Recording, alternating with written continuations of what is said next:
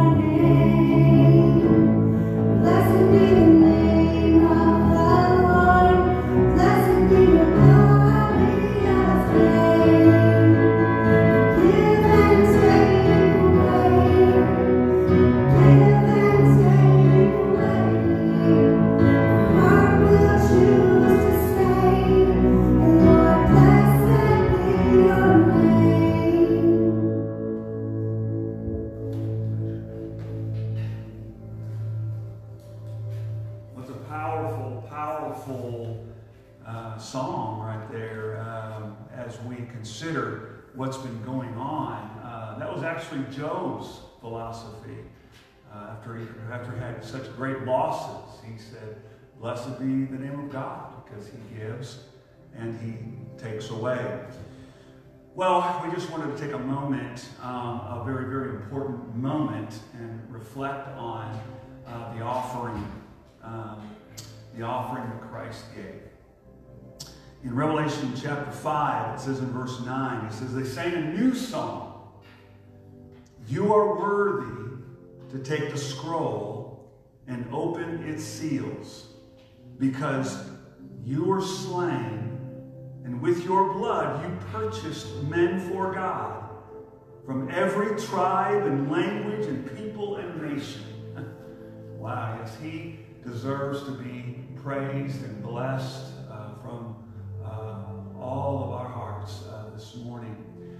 Again, several people have asked, well, how can we, how can we give uh, back? And uh, you can go onto our website at First Christian Church, uh, jonesboro.org, you're able to give there if you'd like.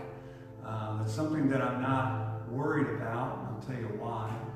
Um, because uh, we uh, want people to worship Him.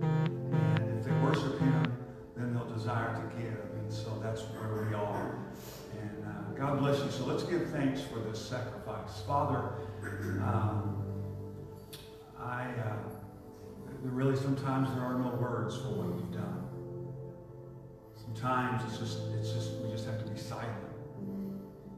Uh, Father, bless, uh, bless every person that watches. Uh,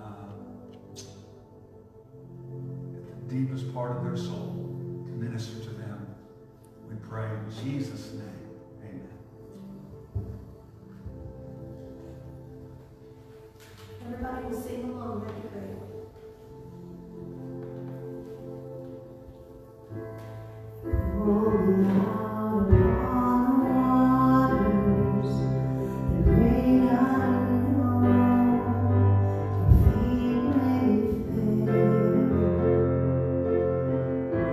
Rise, my I find rest in your embrace.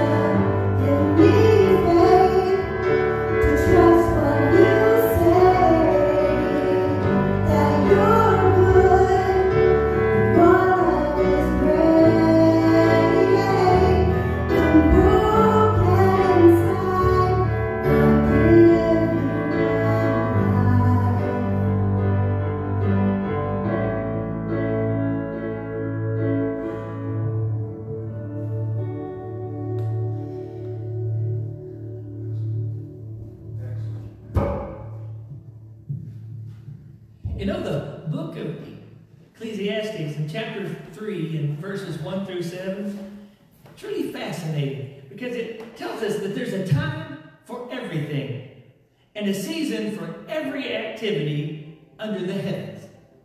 It tells us that there's a time to be born and a time to die. A time to, to plant and a time to uproot. It tells us that there's a time to kill and a time to heal. A time to tear down and a time to build. It tells us that there's a time to weep and a time to laugh and a time to, to mourn and a time to dance, a time to scatter stones and a time to gather them. It tells us that there's a time to embrace and a time to refrain from bracing a time to, to search, and a time to give up. It tells us that there's a time to keep and a time to throw away. It tells us that there's a time to, to tear and a time to mend. It tells us that there's a time to be silent and a time to speak.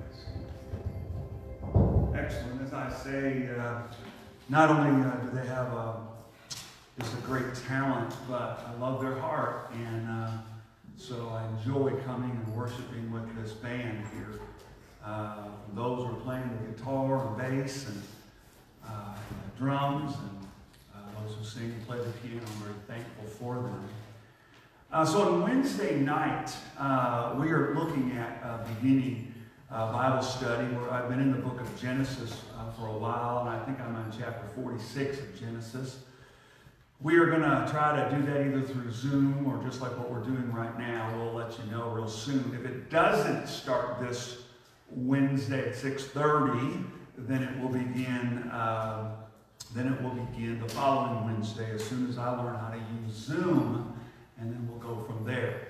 Uh, nonetheless, uh, I am uh, coming off of what Galen read, and specifically that last verse, verse 7, which is there's a time to be silent.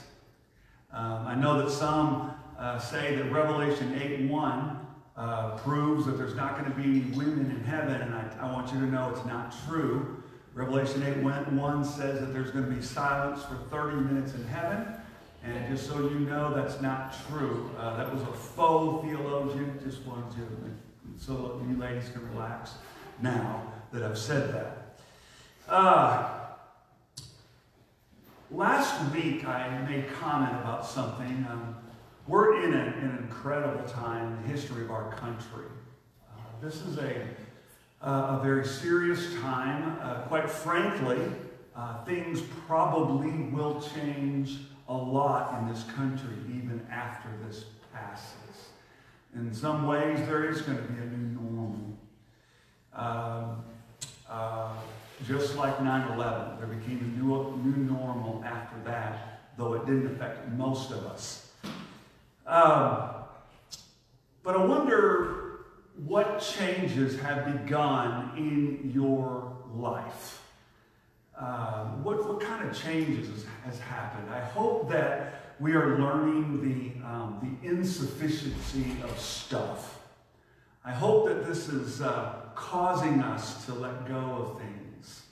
Uh, I hope that you are embracing your relationships. I hope you see the incredible value of them uh, no matter how imperfect uh, we are, but you're embracing those relationships that God has given you. And I would say most important uh, would be that, that your heart is just being softened to God.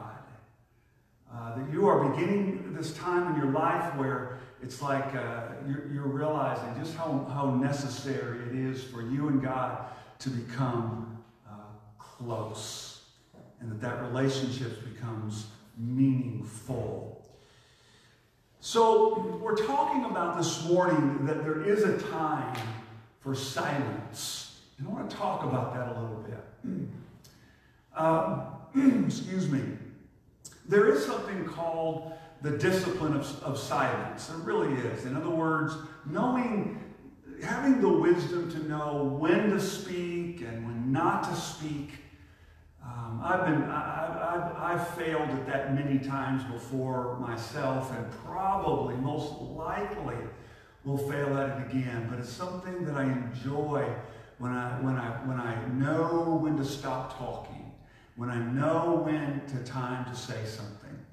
Um, Proverbs 10:19 says this. It says, um, "Where there are many words, there lacks not sin. and in other words, you know, when, when we're talking all of the time without preparation, without forethought, quite frankly, there's going to probably be some sin there in some way, some fashion. The world in which we live um, is a dangerous world. It's, it's a dangerous world.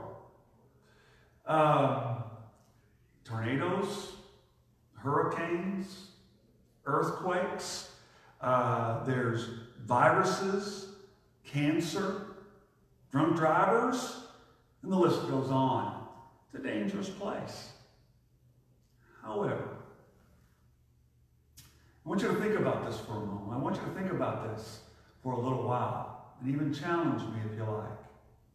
However, if God does not control every molecule and every event, then he cannot be completely trusted.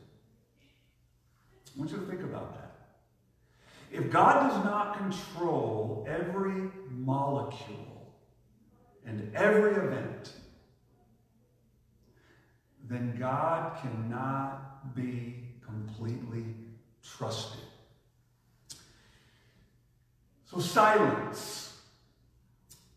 There comes a time when silence has to happen. Excuse me, that does happen. When, uh, when life throws its nastiest, heartless curves into your life. Um, silence happens. And I take this off of last week's message when we were looking at Romans chapter 8, where it says that even us that have the, uh, the first fruits of the Spirit, uh, even us, uh, we groan inwardly. And that what that means is this that if we're groaning inwardly, that means that there just are no words.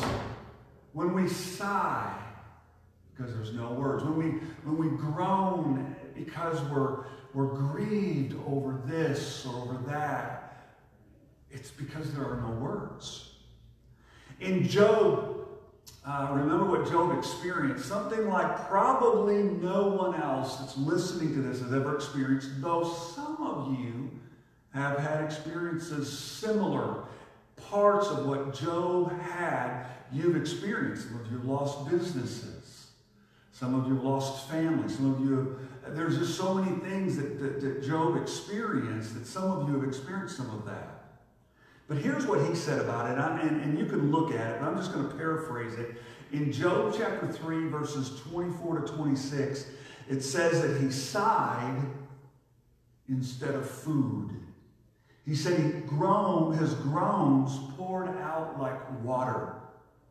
He says, What I feared happened.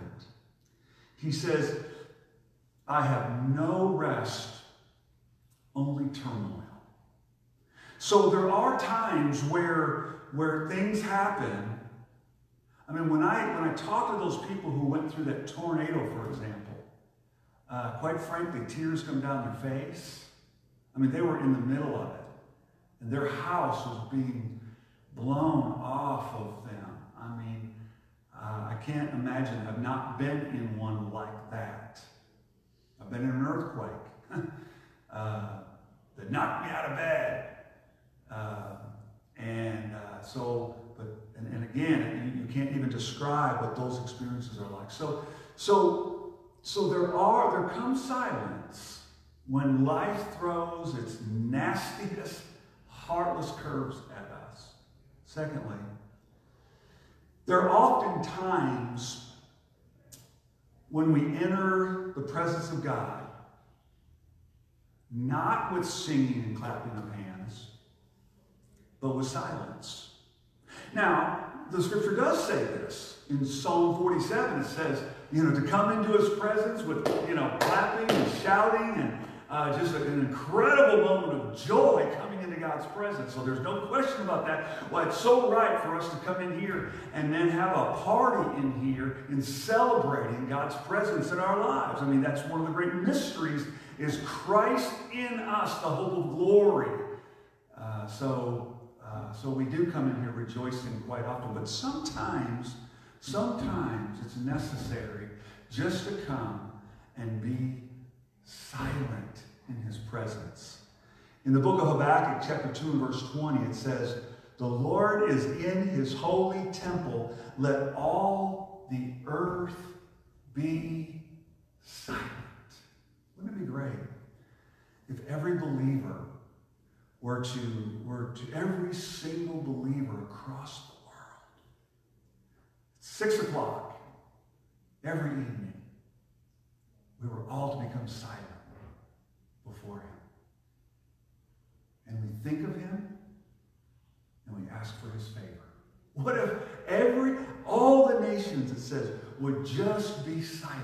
I'm going to ask you guys to do something like that in a moment.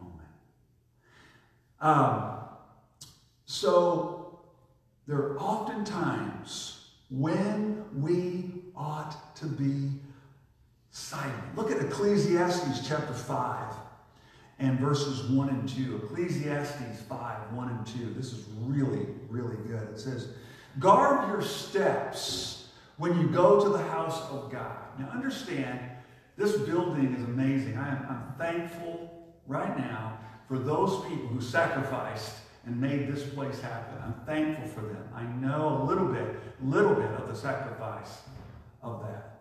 And I'm thankful for these people. This is not the house of God. We're the house of God. But nonetheless, guard your steps when you go to the house of God or when you come into his presence. It says, go near to listen rather than to offer the sacrifice of fools who do not know what they do wrong. In other words, there are those who just come in and they just start talking. Uh, they just have words, meaningless words. And he goes on, he says, Do not be quick with your mouth. Do not be hasty in your heart to utter anything before God. For God is in heaven and you are on the earth. So let your words be few. And he's not just, when he says God is in heaven, it means God is on his throne. God is on his throne. So sometimes we need to come in, you know? Whether it's here, we meet together here, or whether it's you're meeting with him in your own home right now. And sometimes it's good just to be silent. Psalm 46:10. Be still and know that I am God. See? Thirdly, third point that I want to make here is this. God becomes silent for those who constantly suppress the truth and they disconnect from the one who pursues them. Uh, there are scriptures that say this all over the scripture. God becomes silent. I don't know about you, but that's a dreaded moment. That's a, that, that's a nightmare to me. The thought that God would no longer speak to me. That is, uh, that would be definitely part of a hellish experience. Um, you see, in the scriptures, it says things like in Isaiah 1, I'm not going to go there, but you can, verses 10 through 15, and then, and then Isaiah uh, 29, 13, uh, is this, that, that they, God was tired of their meaningless offerings and the time they wasted in doing their religious festivities because they really just wanted to go off and do their own thing. They were just, just, just had a ritual that had no meaning to the heart. And God wants our heart. And, uh, uh, and so what he says in verse 13, uh, or, or uh, later on in, uh, uh, in fact, verse 15, sorry, Isaiah 1, verse 15, he says, I won't be listening to your prayers because your offerings are meaningless to you. You see? And so, uh, what, what he's looking for when we come like this, even in your homes, is God wants you and I to be transparent. He wants us to be ruthlessly honest with Him rather than playing any sort of a game. Um, there's a real danger. For example, I want to mention Romans 1, and you might look at it. Uh, really, verses Romans 1 18 to 31, what we find is that God becomes grieved over uh, a lifestyle of sinfulness. Um, he becomes grieved by it. In fact, in fact, he passes judgment on it. And what he does is he finally gives people over to that. Whatever it is, whatever sexual sin it might be, or whatever kind of wickedness. You can read a whole bunch of, of sins right there. Whatever it is, he says, he's, he's going to give them over to it. Three different times, I'll give you over to that. And what that means is people can get into a place where they've sinned in these uh, grotesque ways and they, uh, uh, they have no desire to repent of it anymore.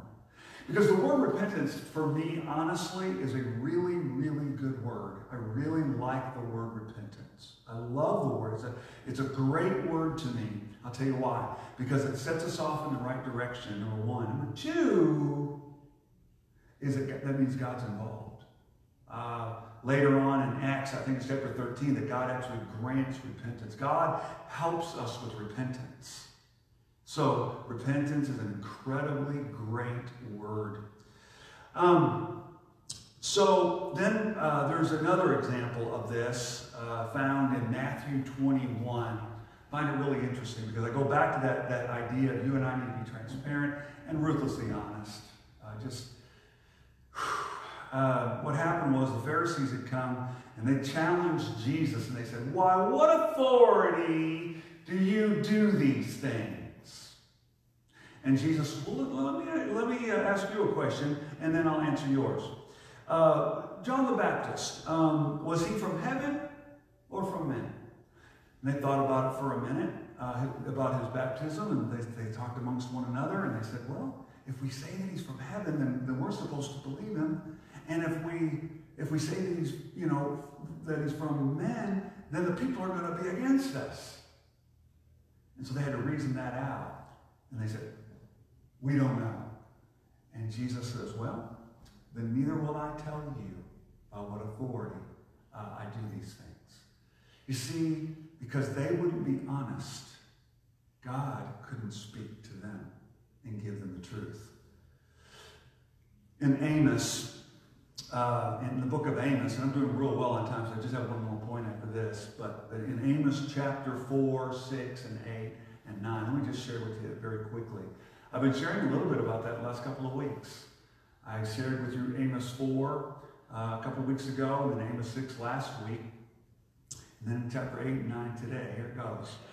In chapter 4, what had happened was that uh, uh, Amos had told them, guys, you, God had, try, had been trying to get your attention. He brought famines. He brought where you, uh, you know, your crops were ruined and yet you never would turn to him. See, what we're experiencing today, I'm convinced, I'm not a prophet. I'm not, I'm not going to pretend to be one. The experience we were having today as a country and as a world, quite frankly, to me, is God saying, uh, hello. God's saying, I'm still here. And uh, he's, he's making some noise for you and for me.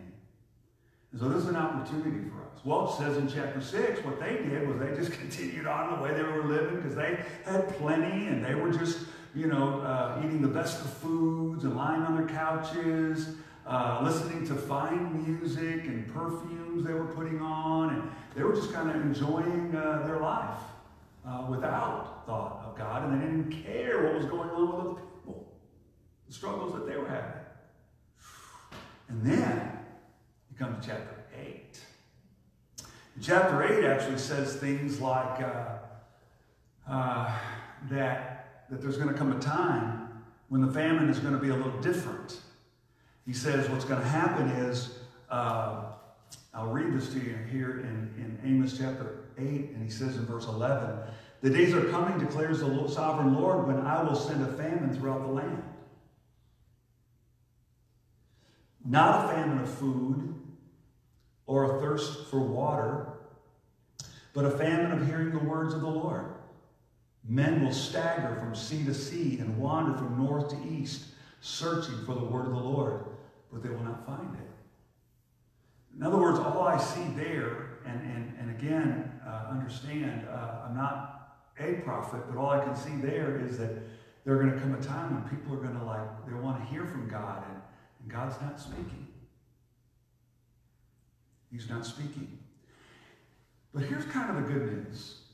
Believe it or not, there's some good news in this. In chapter 9, it goes on and it talks about this. It talks about how that what God's going to do is He's going to bring another nation to come and, and cause them to be uh, captured and captivated and enslaved by another nation, this northern kingdom of Israel. Now, now, what's interesting to me is this, is that he's warning them about this, right? He's warning them. Watch. But he doesn't do it for another 25 years. I don't know how, what your view of that is. I don't know what it is about me. Sometimes I can see positive things and, and, and negative things, stuff. But here's the point that I want to make to you. and that is that he gave them another 25 years before that happened. I think that's amazing to me. You can see the same thing with Jesus in Luke chapter 19. What happened with him was he came and he looked over Jerusalem and he began to weep. He says, Oh my gosh, man, I wish you guys would have known. Wish you would have known who's come to you. Wish you would have known that we wanted to gather you as a, as a, as, you know, gather you together and, and, and make you ours in Luke chapter 19, there at the, near the end of that chapter. And uh, the, uh, what happened there, though, is that he said, "You guys don't realize what's about to come upon you. You're gonna, it's going to be, it's going to be a, a, atrocious what's going to happen to the city." Watch this. But it didn't happen for another 38 years. My point is that that God, uh, he does. He gives us warnings. He gives us uh, almost always. He gives us this time to, to rethink.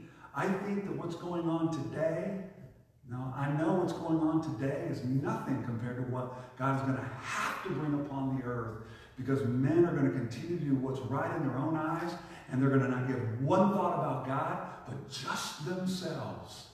And that's where this world is going toward. And God's going to have to bring an end to it. But he's going to continue to seek out and bring those who want him. You see? Uh, the last point I have is this. Uh, the last point is this there will be a silence when you finally begin to understand there is only one gift that is worth it all. There is only one gift that is worth it all. Can, can I ask you something? I'm going to turn over to 2 Corinthians chapter 9 and verse 15, but let me ask you this. Uh, you ever gotten a gift from somebody and you just didn't even know what to say? You, you know, it's like, thank you certainly not enough. I have. I mean, I, you know, I'm not great at getting things, although I'm always thankful. In fact, I think I can probably, and I know you're going to think this is crazy, but I think I can probably remember almost all the things that anybody's ever given me just because I think of that. I think of those things at different times. When somebody gave me a gift card to, you know, this, or somebody gave me, you know, I remember a guy gave me $20 one time back when my family was really, really young, gave me $20 and said, can you give me $10 change? And then I was happy to give that guy $10 change. I didn't have it, but I got the 20 and I brought back the change of $10. Uh, but nonetheless, um, I, uh, I can't remember things that people have done for me, and, and, and so many of them, they're just, just speechless. But in 2 Corinthians 9:15 it says this, thanks be to God for his indescribable gift. you catch that? It's indescribable. Uh, we can't even describe it. So once you, listen to me very carefully, once you and I finally begin to grasp, finally begin to understand at the tip of the iceberg of what's been given to you, of who has been given to you, you're going to go silent. But gratitude is going to come out of your eyes. God is still pursuing you as I speak to you right now. Let's pray together. Father, I consider it such an honor. Um, I love this First Christian Church. I love these people. Um, you, sir, are the one who brought these people here. And uh, I thank you for that. I pray, Father, that you will always be honored here. That, that, that, that when we leave and we go through our day, we think about you. We, we understand that, that you're the one who deserves all the honor in every generation, forevermore. Thank you for Jesus right now, the indescribable gift. In Jesus' name, amen.